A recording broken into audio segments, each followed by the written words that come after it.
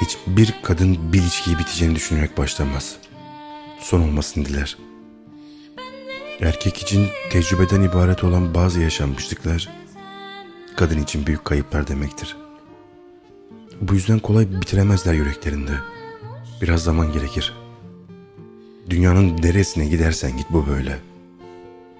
Yaşadığı ilişkinin etkisinden çıkmaya başlayan kadın daha da güzelleşir.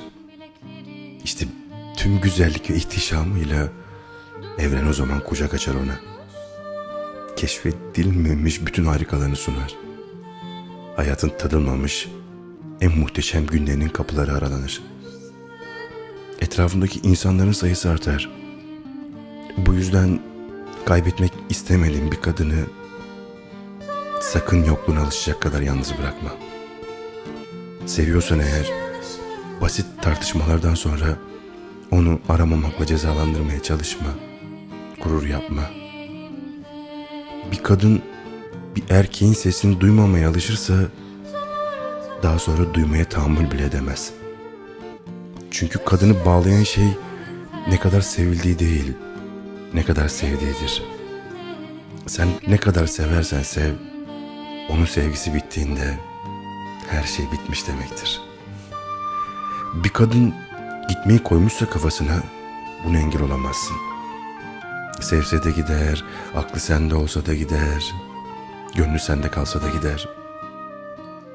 Kaybetmek istemediğin bir kadını asla incitme. Çünkü bunu telafi edemezsin. Çünkü kadın vazgeçtiği kalbe yabancılaşır. Bir kadın karşısında hiç tanımadığı sıradan bir erkek bile beyninde bitmiş bir erkekten daha şanslıdır. Bir kadını mutlu etmek o kadar da zor değil aslında. Çünkü çok şey sevmez bir kadın. Onu gülümsetebilmek için pahalı hediyelere ihtiyacı yok aslında.